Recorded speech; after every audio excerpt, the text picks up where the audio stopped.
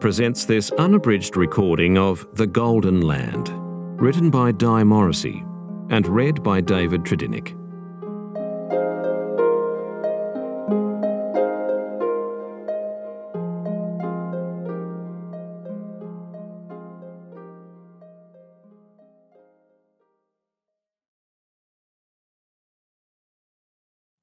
Dedication to Daw Aung San Suu Kyi for her steadfast and moral leadership that has inspired the world, and to the people of Myanmar as they begin their journey towards their dream of freedom and democracy for their beautiful country. While this book is a work of fiction, it is inspired by actual events and people in Burma, such as Aung San Suu Kyi, her father, the late General Aung San, members of the former royal family, King Thibaw and Queen Supayalat, and the military leader, General Ne Win. Chapter 1 1885 Burma In the cool shadows of the high-ceilinged wooden monastery, the young monk sat with bowed head, chewing his bottom lip as he painstakingly drew his stylus over the lacquered red square that lay on the floor in front of him. Occasionally he hitched his cotton robe back onto his shoulder, draping the folds over his lap, his bare brown feet protruding from the robe as he worked. He sat cross-legged, his brow furrowed in concentration. Chosen by the abbot of the monastery because of his exceptional artistic skills, he had been given the chance to decorate the sacred text of a Kamavasa that was to be presented to the king himself. Ye An's talents had been discovered not long after his arrival at the monastery as an eight-year-old boy. His impoverished family had entrusted him into the care of the monastery in the hope that he would become a respected and learned monk. They, in return, could expect to gain merit for their sacrifice. Ye An joined the long classes with other novice monks, learning to chant by heart the Buddhist canon in Pali, the ancient language that Buddha spoke. Many hours were also spent in prayer and meditation and reading the old texts held in the monastery. Through these texts, Ye An learned about the life of the Buddha and legends and tales of the spirit world that hovered between myth and belief, as well as the history of the great kings of Burma. Ye An was a quiet boy who was happy in his own company. When the other young monks played, chasing woven bamboo balls behind the long dining hall, or flinging off their robes to dive and splash in the silky brown waters of the Irrawaddy River, Ye An would sit in the shade of a tree, gazing at the old monastery with its spacious corridors and high, heavy doors, its sweeping, tiered roof, and tall, ornately carved spires held aloft by carved mythical creatures. The teak of the buildings had turned dark grey over the century or more that the monastery had stood in the quiet, remote jungle clearing. The courtyard between the main building and the two smaller ones was made of fine white earth and was swept daily by the monks, whether the courtyard was sun-warmed or contained puddles shining in the monsoon rain. The buildings had a weathered, friendly appearance, and a softness quite unlike the gilded pagodas and stupas that were scattered near the local villages and in the city of Mandalay.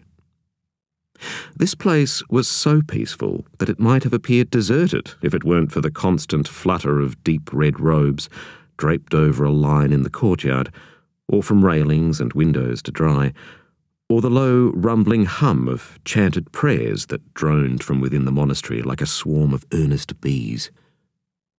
Ye An had always seen pictures in his head, and he wanted to transcribe the rich tapestry of stories from his lessons into delicate, detailed illustrations. He shyly told his teacher, Sayadaw, his ambition, and Sayadaw began to encourage him. Even though he had not had formal lessons, Ye An loved nothing better than to draw with a brush or stylus. He shared his dormitory with other young monks. Each had a mat on the floor and a coverlet, and used their folded robes as a pillow. A small box held their few personal items, which included a writing slate and copies of the Pali texts they learned to chant by heart. Yean liked to sit alone in his corner while the other boisterous boys let off steam outside. He enjoyed his solitude in the quiet room, where the open wooden window shutters let in the warm breeze from the river. Here he drew tiny images adapted from all he saw around him fantastic creatures, glorious flora, the beautiful birds, and even the monks themselves. Sometimes he drew pictures of the spirit world creatures or the animals representing the different birthdays. Eventually, Yean graduated to creating kamavasas, sacred Buddhist texts written on treated palm leaves. The leaves were smoothed and smoked before the texts were written on them, with spaces left between some of the lines for intricate illustrations. When complete, the leaves would be carefully joined together with silk cords and folded between lacquered pieces of bark. Sometimes the teak bark covers were decorated with gold leaf. Frequently, kamavasas were commissioned by families and given to the monastery when a son entered the Buddhist order. The special palm leaf manuscripts were then stacked in decorated boxes or wrapped in cloth and stored in the ornate library chest in the abbot's quarters in the dim reaches of the inner sanctum of the monastery. Yean's family had been too poor to commission a kamavasa, and the young boy hoped that by illustrating them for others as well as he could, he would be able to bring merit to his parents. One day, Sayadaw called Yean into the private sanctuary used by the senior monks. Here the older monks meditated and prayed, surrounded by relics, Thangka hangings, figures of the Buddha, and library chests holding palm leaf manuscripts so old that few could still read the ancient script in which they were written. Yean was awed to be in this sanctuary and stood quietly, his head bowed, hands clasped beneath his robes as his teacher took a monk's robe from a chest. Yean knew the cloth was old the moment Sayadaw put it into his hands. His teacher then told the young boy that the robe had belonged to one of the monastery's most respected and honoured monks. He explained that instead of using the usual palm leaf, pieces of this robe were sometimes used to make special kamavasas. First, the cloth would be covered with lacquer to become a smooth but pliant surface, and then it would be cut into sections on which the monks would inscribe sacred texts. These cloth sections would then be joined together by narrow ribs of split and polished bamboo. Yean would then illustrate the work with his drawings, using boiled black lacquer as ink. May I ask to whom this special kamavasa is to be given? said Yean. Sayadaw smiled. It is to be presented to King Thibaw. Being asked to work on this particular project weighed heavily on the shoulders of Yean. As he worked, he began to have an inkling that there was more in the text than simply Buddhist teachings. He asked Sayadaw to translate the meaning of the ancient Pali script, but Sayadaw shook his head. The old monks have special knowledge that they occasionally pass on, hoping that someone, somewhere, will be able to decipher what is hidden in the text. It's a means of safekeeping. Like a secret. Sayadaw shrugged. Yes, such as where certain relics, riches, or objects to be venerated are hidden. Perhaps monastic traditions. Whoever can decipher the text will acquire special status, karma, and enrichment. Can you read what's written in this Kamavasa? Yean asked. Sayadaw shook his head. The senior monks each write only a part of the story. No one is allowed to read all of the manuscript. Who knows the whole story? asked Yean. I cannot tell you, said Sayadaw. Yean did not know whether his learned teacher did not know the answer or simply would not tell him, so the young man asked if he could draw some white elephants in this kamavasa like the carved elephant figures at the base of the monastery steps. Sayadaw smiled. I'm sure the king would like that very much. The white elephants are sacred indeed. Yean was worried that he had displeased the abbot when he was called to stand before the senior monk. But seeing the pleased expression on Sayadaw's face as he stood nearby, he was reassured. Indeed, so pleased was the abbot with Yean's work that he gave his permission for the young monk to accompany the senior monks to Mandalay to present the completed Kamavasa to the king. In the cool of the early morning, led by the most senior monks, the holy men filed solemnly from the monastery, carrying their alms bowls. In his cotton shoulder bag, the abbot carried the gift to the king that Yean had spent many months helping to create. When Yean saw the bag, he smiled to himself, knowing what was in it, and remembering his drawings of white elephants wearing jewelled necklaces and richly embroidered cloths with bands of gold around their tusks, walking beneath a gold tasselled white canopy, escorted by musicians and magicians. The monks walked for days through villages, pausing at food stalls and houses where they were given water and food. Once they passed the bodies of two dacoits who had been crucified on a hillside as punishment for raiding a local village. Yean shuddered when he saw them and quickly averted his eyes, although he admitted to himself that the villagers had the right to protect themselves from such bandits. Knowing that lawlessness abounded in the countryside, he felt safer when the monks arrived on the outskirts of Mandalay. The closer they got to the royal palace, the more crowded the roads became, not just with people, but also with dozens of pigs jostling around them. King Mindon, who came before King Thibaw, fed a thousand pigs each day to earn merit, but when he died, they were abandoned, Sayadaw explained to Yean. The monks arrived at the expansive palace, crossed the wide moat on the fifth bridge, walked in single file through the grounds, past the watchtower, and were led to a beautiful large pavilion. Inside, a carved wooden partition divided the cool and airy space into several reception rooms.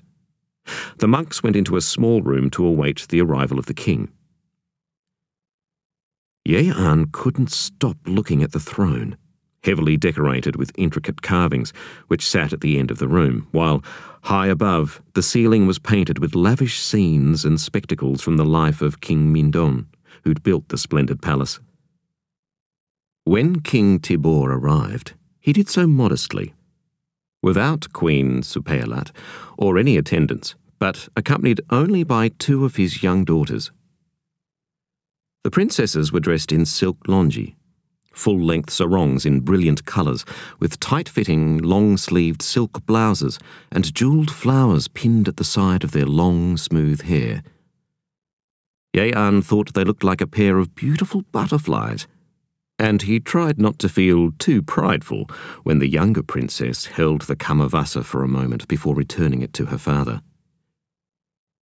It was a short and formal meeting, and, if not for the presence of the two princesses, a very dull event. After it was over, Yean followed the older monks to the central shrine of the palace to offer appropriate prayers. He couldn't help wondering if the king would study the pages of the Kamavasa and notice his illustrations, or if it would simply be placed in the royal library and forgotten.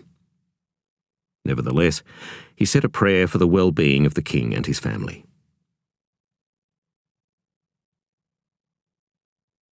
Within a month, there were dramatic changes in Mandalay that affected even the quiet life of the monastery.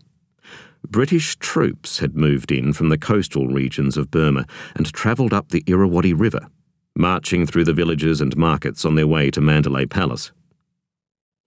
The novice monks were ordered to stay indoors while the senior monks spread out through the countryside to protect their shrines and relics. The invaders had no respect for the Burmese culture and took what they pleased.